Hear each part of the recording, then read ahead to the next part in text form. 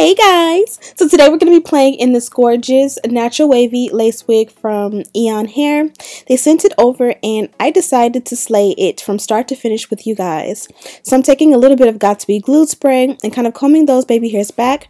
The spray is going to help to secure all of the flyaways and make sure that you do not over bleach and that the bleach does not, you know, seep through over the hairline. Now as you guys can see, I took a 30 volume developer and my BW bleach, made a nice little mixture, put it on, let it sit for about 20 to 30 minutes, about 20 minutes, and then I rinsed it out, washed with purple shampoo, um, conditioned, and here we are. Gorgeous, natural, flawless hairline. It was pre-plucked by the company. I did not do anything extra, just bleached the knots. So you guys always ask, how do I make lace wigs glueless? The elastic band is the perfect method to go ahead and secure your wig. Make sure it's not sliding back, it's not lifting. I think this is a one inch elastic band. I'll have it linked down below. Normally I'll use a one and a half or a two inch. And I went ahead and sewed it down to the lace. I have a specific technique that I like to use. This is it for, for the most part. But if you want a detailed tutorial, I'll have that linked down below. So here's a good shot of what the wig looks like on. Absolutely beautiful. You would swear I plucked this out myself. This is by far one of the best hairlines I've received in a while. I'm going to pull the hair back and secure it so that I can go ahead and work on cutting off the excess lace.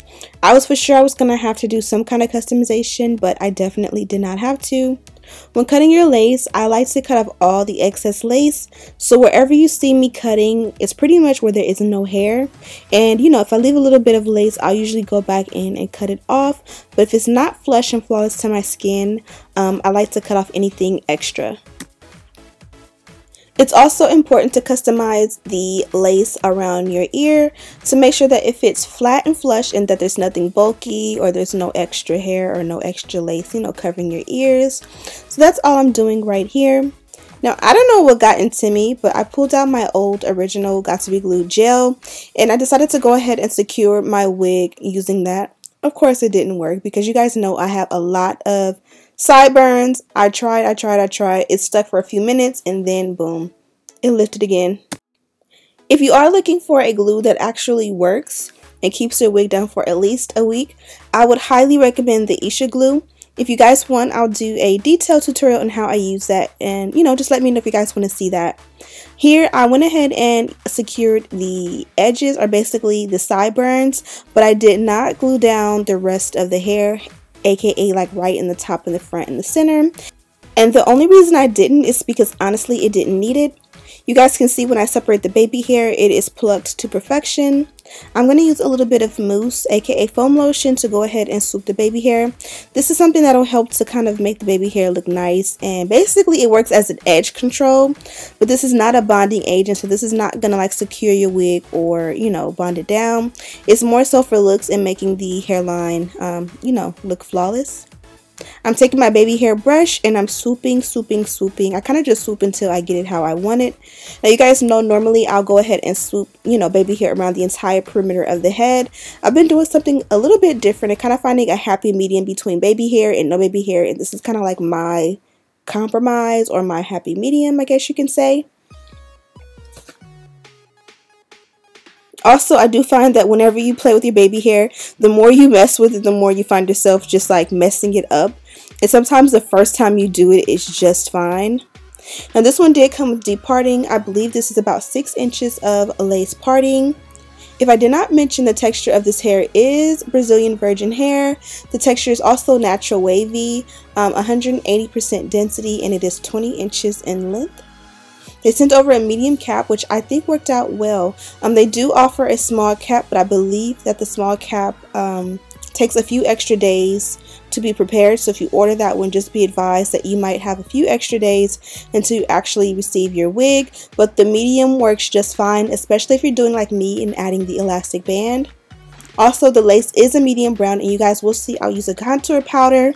As far as the hair goes, I just use water in that same foam lotion and everything came out beautiful. Okay, so I'm pretty much done with this look. I did go ahead and bond this down, but you guys know how that goes. It never stays unless I actually use something that is um, actually flew. I definitely forgot to add powder to the party, so I'm going to do that now. Last video I did, I tried out the Black Radiance Contour Powder, um, which is a shade darker than me. It's not a whole shade darker, but it's like a smidget. I basically use this um, normally as one of my options for contour. Um, you got to use a contour powder that is essentially darker than your complexion and is not too red and I find that that works the best so while I've been doing foundations this whole time now I'm on the contour bandwagon I'm using a contour powder and I'm definitely gonna go ahead and OD and order a bunch they did actually pre-plug and give me a baby um, a natural hairline with baby hair which they did an amazing job on. I'm gonna give them their credit. You guys did see I went ahead and bleached the knots for a more natural um, hairline. And then after I did that, I was able to just actually literally apply the wig, cut the lace, and just make a little bit of baby hair. Lately I have been like instead of doing a baby hair in the center and then baby hair on the side and down all the way down, um, usually I'll kind of like swoop the center, swoop here, swoop here, and then have the side sideburns. With this one, I just kind of wanted to keep it a little bit more simple, and that's kind of been my look lately. It's just kind of like doing your these two swoops here, like above my uh, temple or like above the arch of my eyebrows, so to speak. As far as the hair goes, I feel like it's an awesome texture. It definitely um, was super pretty before I even started, and just going ahead and bleaching the knots definitely set it off and added an extra touch to it and made it look more flawless and realistic. I can't wait to play in this wig a little bit more and do some different styles with it. I definitely want to do some space buns and different things or some braids. I just feel like I have a natural hairline and the crazy thing about it is everything is glueless. I did add glue here and you guys can see that didn't stick but here there is literally no glue. My hairline is just sticky naturally because I've been doing other wigs but there is no glue here. It literally is just sitting by itself. And the key to that is the elastic band that you guys seen me use. The elastic band always comes through in the clutch. Here is a final texture shot of what I came up with the hair. The only styling product I use on the length of the hair is the mousse and H2O definitely came out super awesome. Absolutely loved this wig. They give you a good amount of parting in the parting space. Absolutely no complaints. So yeah hope you guys enjoyed this one. Don't forget to check out omg queen. They definitely have some awesome wigs. This one again is a 360 lace wig with an awesome frontal in the front Everything about this one is absolutely gorgeous. I believe they did give six inches of parting, so you definitely have that deep parting space. Don't forget to customize everything to your liking so that you get the perfect flawless finish. The link to this wig is listed in the description box. Also, a link to everything that I used to style this wig is listed in the description box. I'm so tired, you guys. I'm so sorry. Thank you guys so much for watching. Don't forget to subscribe, like this video, share with your friends. And as always, I'll see you in the next one.